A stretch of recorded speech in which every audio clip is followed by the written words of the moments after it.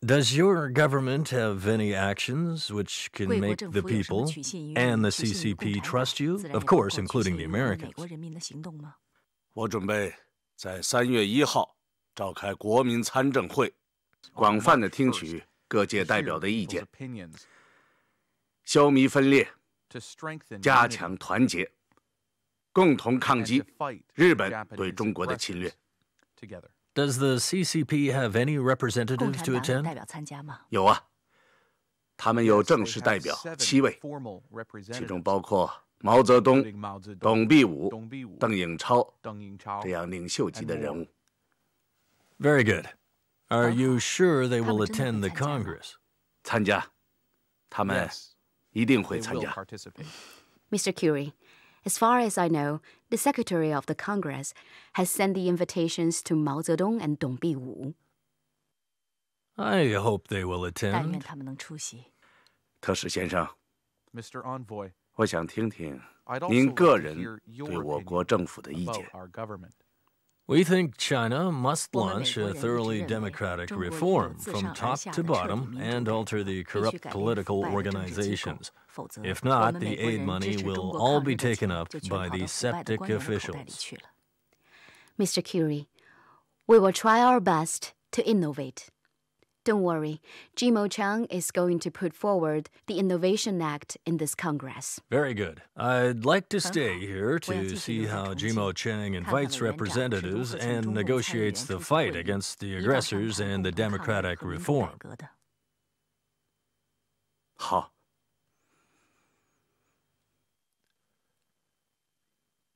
这篇文章写的非常好，把这点再修改一下就可以了。哎，董老，哦，来。 你看看这个，意料之中嘛。你说，蒋某人为什么会如此客气的邀请我们出席参政会呢？哎呀，这个还真不好说呀。诚如毛主席来电所说，蒋某人从来没有如现在这样受内外责难之甚。一月十七日以前。他是进攻的，我是防御的。十七日以后呢，反过来了，他已完全处于防御地位。所以，我知最大胜利就在于此啊！一如主席所言啊，现在是破蒋对我让步时期，而非我对蒋让步时期。哎呀，熬过了目前这一关，我们就好办了。啊，周副主席，毛主席发来了急电。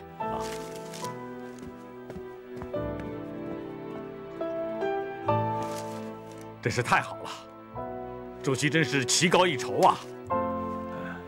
小超，你给念念这一段。好。依我观察，我们非求得个妥协办法不可。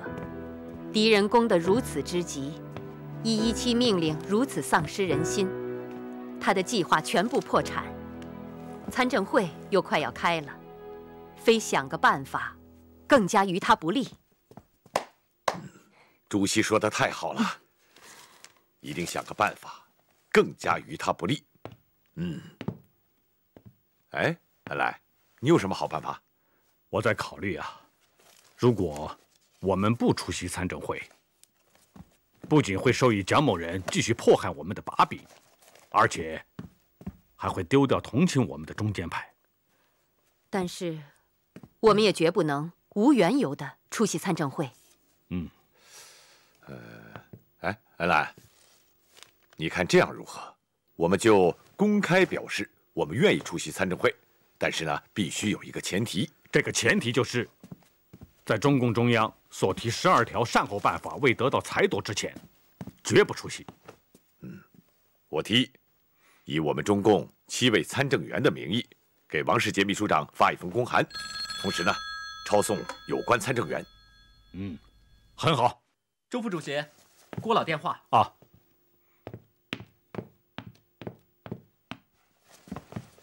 郭老你好啊，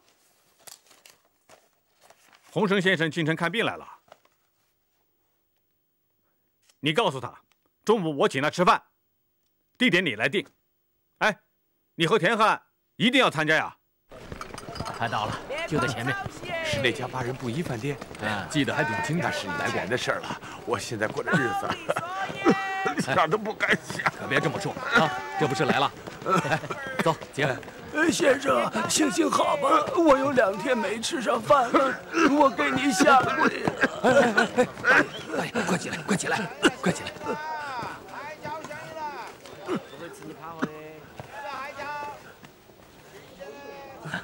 大爷，这些钱你都拿去，吃一顿饱饭吧。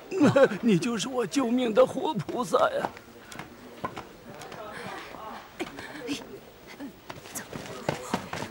哎，救命活菩萨呀！我们也几天没吃饭了。给点吧，我们也几天没吃饭了，饿的都走不动了呀。哎呀，你们都快起来吧，快起来啊！起来。对不起啊，对不起，我我真的是没有钱了。你穿的这么好，装富啊？嗯，走走走，走吧走吧。田老大，嗯，你准备给洪生的钱呢？哎呀，你看，我都给刚才要饭那个人了。好，周公，洪生先生，找点吗？哎，是这样。周公，啊，我早听说田汉请客 得我们自己掏钱。今天啊，好在是我请洪生先生吃饭，郭主任就不用自己掏钱了。哦，郭老，又是你告诉周公的。哎哎，好了，请吧，请吧，请吧，请吧，好，来来来来，好好。茶来喽！好，谢谢，我们自己来吧。要得。好，请坐。三位。都是有名的艺术家，又都是我的兄长。自从全国抗战开始啊，我们就在武汉聚首。我亲眼所见啊，你们为了苦难的中华民族奔走呐喊，做出了特殊的贡献。我呀，实在是钦佩之至啊。周公，那结果又怎么样啊？我们高唱着枪口对外，齐步前进。从大上海撤退，接着我们又唱着洪波曲撤出了大武汉，经长沙大火，南越雪冰，又来到了山城重庆。可结果呢？他们解散了我们三厅，发动了皖南事变，北伐名将叶挺也成了他们的阶下囚啊！可我，我们这些……高阳救国的文化名人，落得个惊魂出窍、一箱藏身的。刚刚成立的文化工作委员会的同仁，大多数都被迫离开了重庆啊。更为严重的是，他们连一点遮羞布都不要了，想抓谁就抓谁。我敢预言，迫害文化圣人的当道者，是绝对没有好下场。对。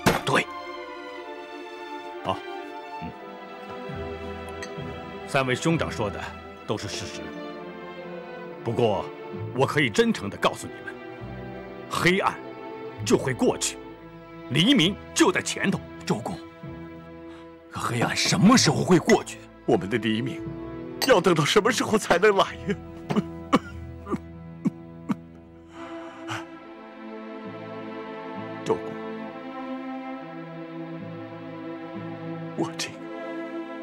重病在身的父亲，眼巴巴地看着自己的女儿被肺病折磨着，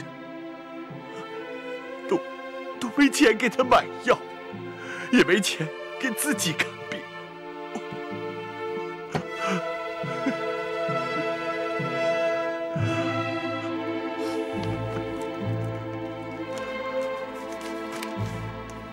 洪尘先生。这点钱，你收下，以解燃眉之急。我不能要你钱，你一定要收下。这不是我的钱，这是八路军办事处特批给你治病的钱，拿着。洪深呢，你就收下吧，啊，收下。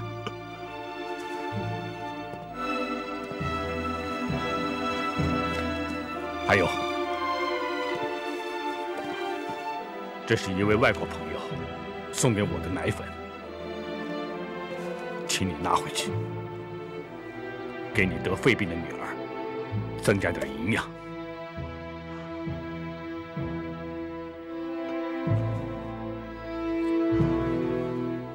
周公，今日相见，我死而无憾了。嗨，不，这是我的肺腑之言，我的肺腑之言。洪神先生，你千万别这么悲观，要相信我刚才说的话。长夜过去，就是黎明啊！洪神呐，一定要相信恩来的话。安臣兄，哎呀。你乐观些。我看那些见了洋人就直不起腰来的人，他们的日子不一定比我们好过。来喽，海参锅巴，吃饭吃饭。砸死你个龟儿，日本鬼子！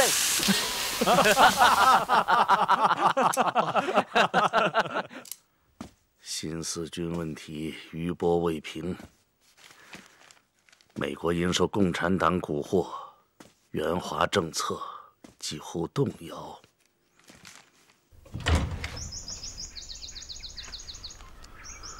达令，夫人，这么早起来，不多睡一会儿吗？阿哥从美国来电话了。怎么说的？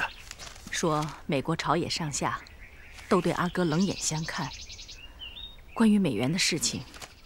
阿哥现在很担忧，岂有此理！报告，国民参政会王世杰秘书长有要事求见，让他去我的办公室。王秘书长叮嘱我说，现在必须求见委员长。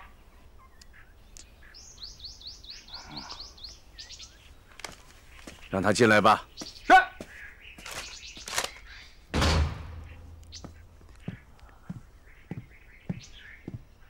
委员长。啊，师姐，你早啊！早。这是中共七位参政员致国民参政会的公开信。什么意思？啊，这我就不看了。快说说吧。这个中心意思是，前不久，中共提出的十二条善后办法未得裁夺之前，中共的七位参政员很难出席三月一日开幕的参政大会。什么叫？善后十二条啊，就是毛泽东提出的关于解决他们称之为皖南事变的十二条办法。不行，如果我们接受毛泽东提出的十二条，那不就等于向中外宣布我们打新四军打错了吗？哎，那委员长要是不接受，中共的七位参政员拒绝出席参政大会啊，不参加就算了。这，Darling。罗斯福总统的特使居里，我知道了，我知道了。师姐，你再去找和中共打交道的张淮南，一起想想办法。原则是，要让中共七位参政员出席会议。好，但是，绝不能用毛泽东的那个十二条。来胁迫我们。为了是否出席参政会的事，我与黄炎培、张澜、沈钧儒、张伯钧等举行了座谈。我向他们解释了我们为什么不出席参政会的理由，他们均表示理解。我呀，也通过严宝航、王昆仑等同志，与国民党方面进行了了解。现在的蒋介石，他一方面想得到美国的援助，另一方面呢。又想继续消灭我们八路军和新四军，用句俗话讲，“猪八戒钻篱笆，进退两难”呐。那我们呀，就再利用参政会大做文章嘛。对。哦，对了，来，你看一下，这是蒋某人近期在重庆以外逮捕我们左派人士的名单。这么多？嗯。是啊，为了应付罗斯福的私人代表居里，他在山城叫喊和平；为了发泄给洋人当奴才的不满，他又在重庆以外大抓爱国人士。周副主席，张淮南先生来到周公馆，请求见您。告诉他，我马上见他。是。看来蒋某人坐不住了。嗯，看来你这次去，给他屁股底下再加把火，让他寝食难安。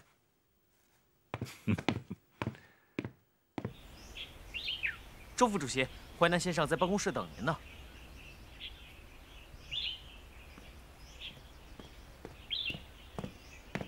淮南先生，啊，让你久等了，来坐下谈。哦，不不不，我们可不可以站着谈？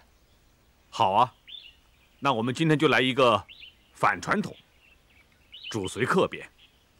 你先讲吧，周公，请你收回这封公开信好吗？不行，你们如此而为，不是等于表示公开决裂吗？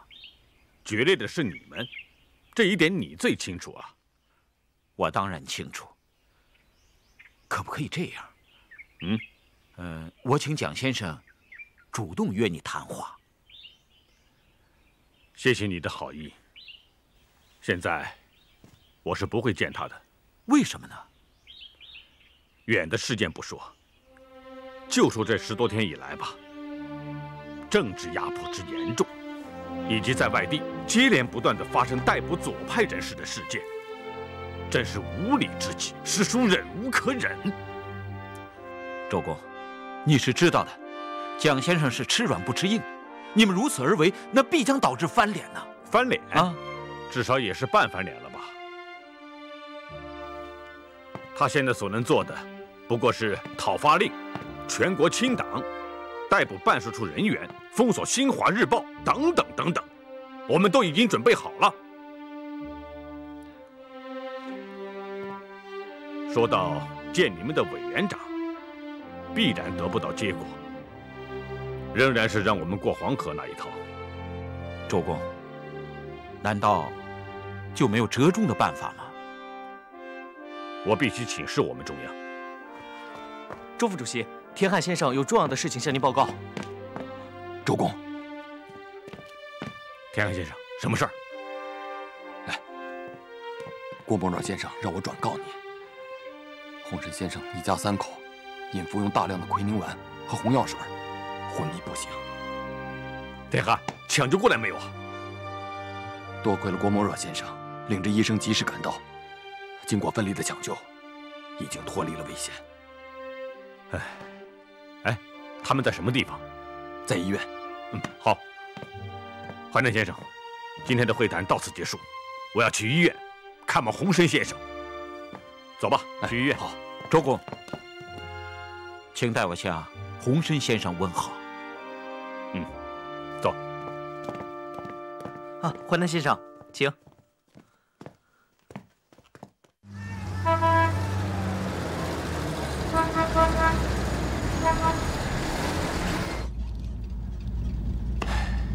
真没想到，怎么会有这种事情发生啊！三亭解散以后，洪神先生困居乡间，几乎等于与世隔绝。再加上吴家飞长疾病缠身，还有心爱的女儿患肺结核病危，他完全陷入了无法解脱的困境。那也不应该走这条路啊！就是啊，尤其当他听说皖南事变之后，他所崇敬的叶剑英将军离开重庆回延安了，他所认识的文艺家也悄悄地飞往昆明和香港，因此，一种失落感，打心底油然升起。诚如他在绝命书中写道：“一切都无办法，政治、事业、家庭、经济如此艰难。”不如且归去。看来我对你们这些艺术家还是不够了解啊，周公，你要是不了解我们，还有谁了解我们呢？现在回想起来，那天吃饭，洪生先生就已经有了轻生的念头。我如果真的了解他，就应该觉察到了，就绝不会有这种悲剧发生了。主公，你不用自责了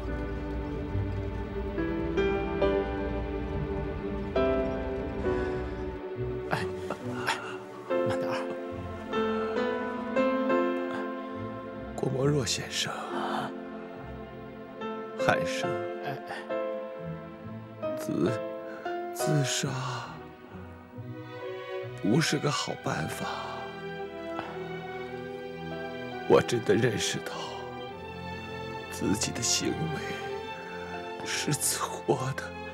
不要说那么多了，啊，把身体养好是最重要的。我们都是文艺家。可我性格实在太脆弱了。每当我想起周公的那句话：“黑暗就要过去，黎明就在前头”，我我就越发感到。我对不起周公。好了，别说了，别说了，别说了啊！哎，周公，洪神先生，周公，来了，躺下，躺下。周公，洪神先生，周公，我对不起你。我没有想到你的处境到了这么艰难的地步。周公，你怎么不来找我呀？你已经替我想得够周到。也替我做了很多很多，是我自己太脆弱，我糊涂，我糊涂啊！不，正因为你们这些艺术家有这样脆弱的性格，才能够写出爱憎分明的作品来。从这件事，我想到了。我们共产党人应该怎样和艺术家交朋友？我做的很不够，很不够啊！周主席，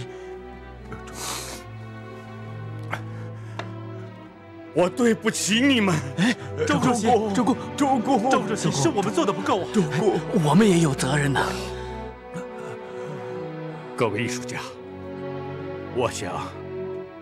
借用田汉先生在《义勇军进行曲》里的一句词：“中华民族到了最危险的时候，你们要保护好自己的身体，因为全国人民都希望你们发出最后的好声啊！”我知道你在重庆以外的地方干得不错，要奖赏一下。那些诱捕共党、清除一切左派分子的部署，是。我一定坚决落实校长的示意。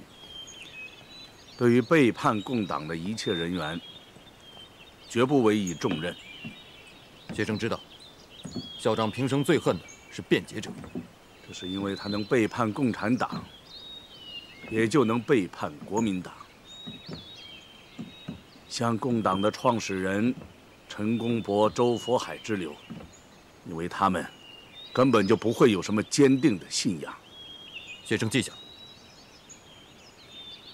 重庆的情况怎么样？不知何故，文化工作委员会的那些名艺术家、作家，他们都相继离开了山城，飞往昆明、香港等地。你觉得是为什么？哼，担心事态发展殃及自己，趁机远走高飞了。这就是中国大多数知识分子的特性。你对他们稍稍宽容一点，他们的尾巴就翘到天上去了；你只要稍稍把脸色一变，他们的尾巴夹得比谁都快。对，只要我们对他们一动情，他们就会服服帖帖的。你打算怎么整治重庆的治安呢？报告校长，对于那些上层文化人。我先排队造册，疑似居里飞离重庆，我一网打尽。至于下层的报摊、书店等地方，由地方的袍哥去处理。好。还有就是，要密切的关注那些和共党联手、破坏召开参政会的人。是。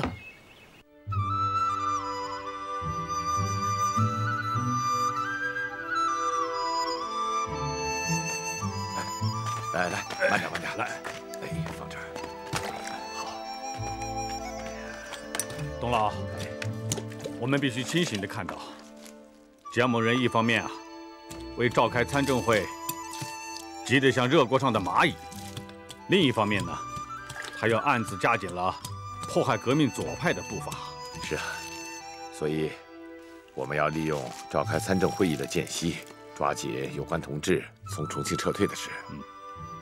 尤其是当我们的七位参政员的信送给有关参政员之后，一些小党派和一些同情我们的参政员四处游说，要求蒋委员长要我们出席。是啊，据说啊，给蒋某人增加了很大的压力呀。嗯，最大的压力来自罗斯福总统的特使居里，他经常找戴维斯及有关人士谈话，把堂堂的蒋某人晾在了一边。生性多疑的蒋介石啊！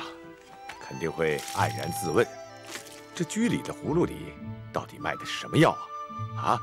因此，我们更要给他加大压力，搞得他在政治上求助无门。周副主席。哦，龚鹏啊。周副主席。有事吗？据戴维斯他们说，蒋介石又有好戏看了。知道戏的内容吗？不知道。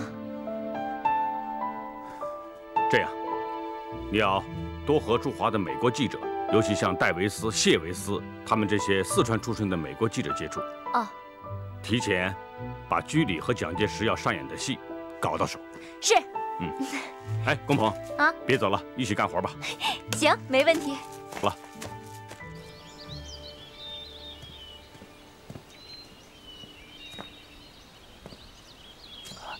北座，使节来了，有什么事吗？自从中共致参政会的信函公开之后，黄炎培、张澜、沈钧儒、张伯钧等参政员，哎呀，就像炸了锅一样，要求我这个秘书长满足中共的一些要求，把这届参政会开成一个团结对敌的会。只有这些幼稚的老同生们，才会有这种迂腐之见。那委座，您的意思是？他们敢于如此而为，就是仗着有居里在后面撑腰。他们认为，国民政府和军队为了获得美元，就得听命于美国人的。哼，他们也不想一想，居里走了之后呢？委座。可否约他们谈一谈呢？不，还是再看一看吧。是，我先走了。嗯。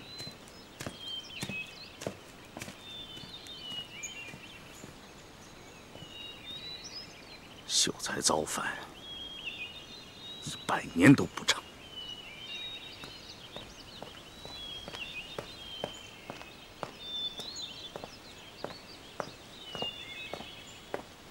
达令，美国总统特使居里阁下前来造访，走吧，回去换身衣服。不，不见。就说我太忙，没有时间。不行。我说行就行。我是中华民国的元首，不是他居里手里的玩偶。达令，达令，居里今天来造访。是来送罗斯福总统的亲笔信。走吧，换衣服吧。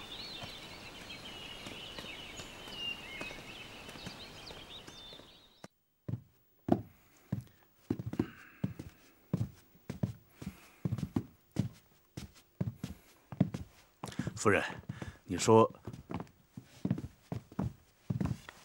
？This letter is from President Roosevelt. 这是罗斯福总统给你的亲笔信。啊，谢谢。请坐下谈吧。那去。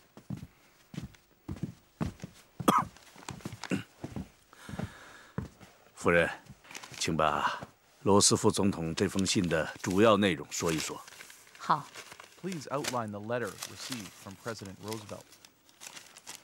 罗斯福总统非常关注中国的抗战局势，他明确表示，不希望再有打击新四军的事件发生。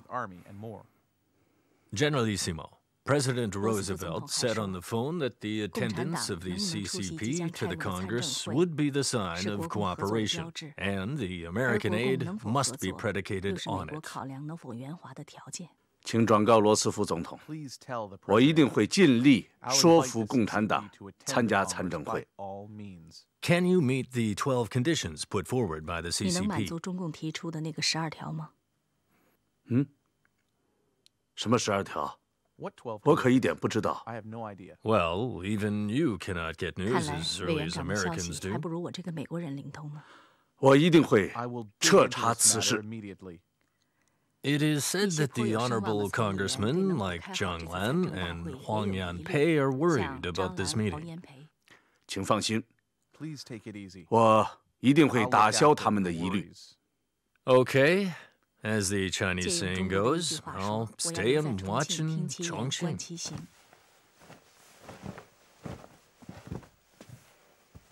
Goodbye. 再见。Goodbye. Goodbye. 哦，我要提醒委员长，空跑防不得哟。嗯，一个小小的翻译， 就跟我开这么低俗的玩笑。好了，大令，你不是经常说“小不忍则乱大谋”吗？你就权且忍了吧。没想到，这等人。也会趋炎附势。请请请，好好好，坐坐，王人老坐坐啊。哎呀，这真是太好了！今天在座的都是中华民族的精英人士，不敢当，不敢当。其中张表老、黄任老，还有沈军老，都是我的学长。就说是梁漱溟、张伯钧等同仁呐。我们也是相识多年了，既然大家都是熟人相见，那就一定要畅所欲言。哎，对，不要有什么隔阂，好不好？好，好，好，好，好。呃，今天我和大家要说的一项内容就是，如何开好即将召开的参政会议。在大家发言之前，我只说一句话：大家不要纠缠以往。要为团结抗战及未来的民族振兴贡献自己的智慧。事实上，过去的事情是讲不清楚的，讲多了只能影响团结。王秘书长说的对啊，就说大家关心的国共关系吧。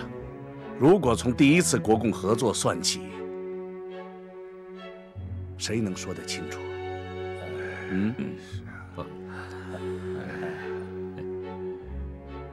张彪老，您是川北圣人，又一直有敢于直言的美誉。用军人的话说，您就给大家开个头炮。既然委员长发了话，那我就先说。我们这些人呐，都是真心希望。开好这次参政会的，嗯，为了化解国共之间的矛盾，我建议啊，请中共驻重庆的代表周恩来先生参加参政会的主席团。嗯，嗯，呃，大家同意张表老的建议吗？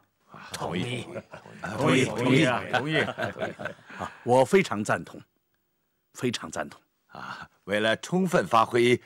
参政会的民主和监督的作用，我建议在参政会的下面设立一个特别委员会。嗯，依您看来，应该有哪些人士参加？啊，那当然是必须具有广泛的代表性喽。是是是，呃，除去各界人士的代表以外，一定要有中共方面的人士参加。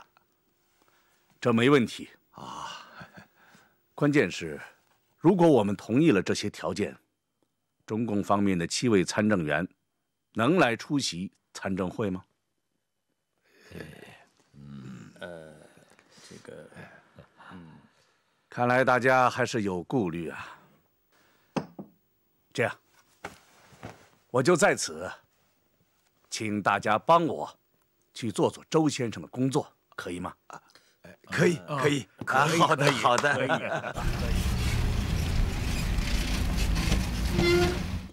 哎，黄仁老，哎呀，周公亲历寒舍，不胜荣幸啊！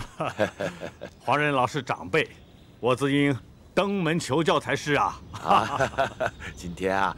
蒋先生把我们几个热心国共两党团结的人找了去，就贵党出席参政会以及各组织各党派委员会等事宜啊，交换了意见。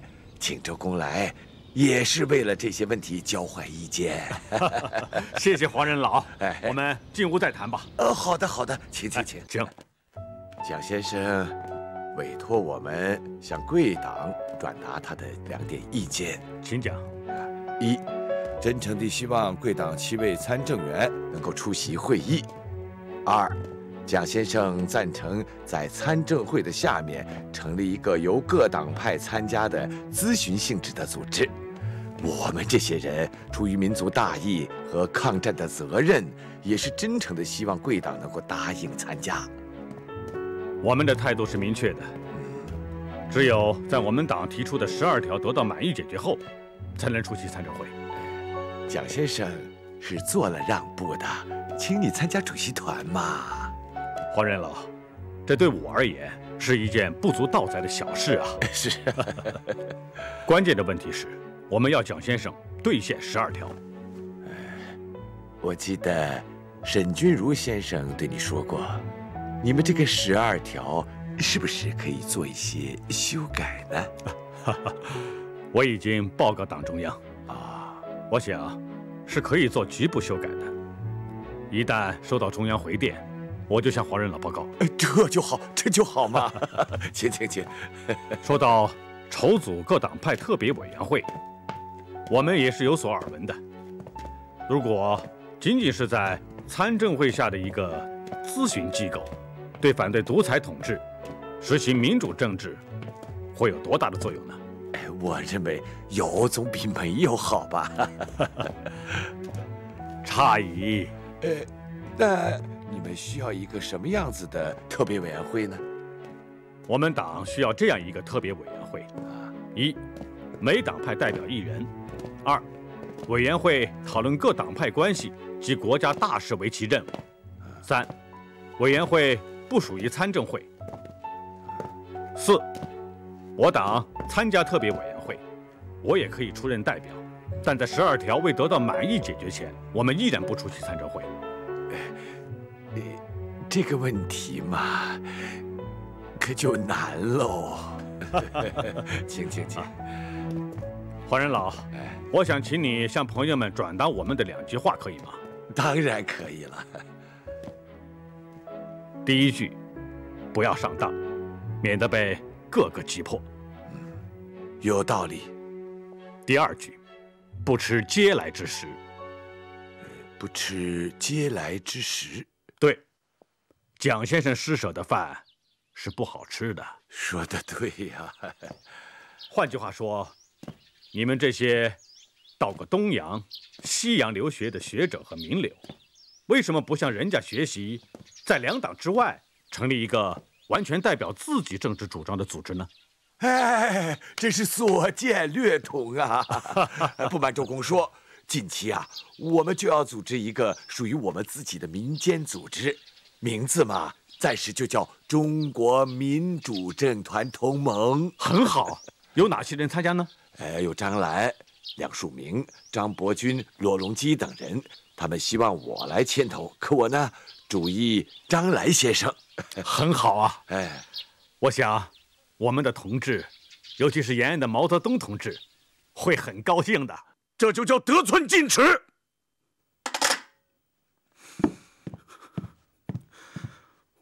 真是岂有此理！蒋先生，行了，你别说了。为了顾全大局，我已经同意周恩来进主席团，可他还想另外搞一个什么特别委员会，这不是要搞一个与我分庭抗礼的第二个共产党吗？算了算了，一切都算了。蒋先生息怒。再过几天，参政会就要开幕了。如果中共七位代表不参加的话，那大批的美国援助，要，一定要。可一旦居里回到了美国，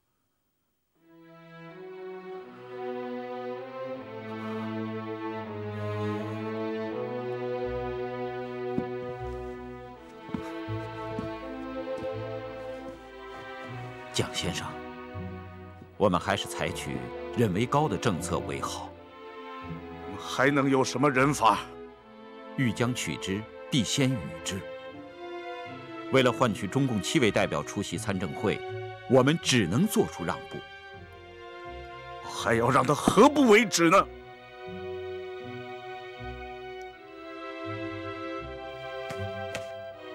蒋先生，明天一早，我就带着这个方案去见周恩来。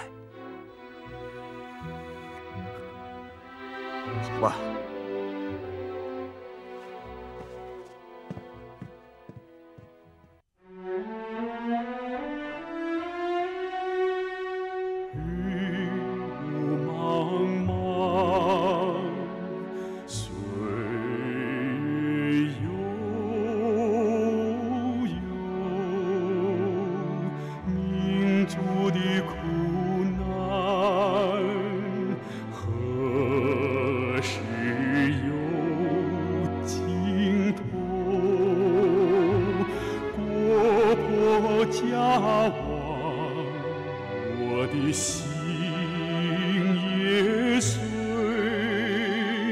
江河淌血。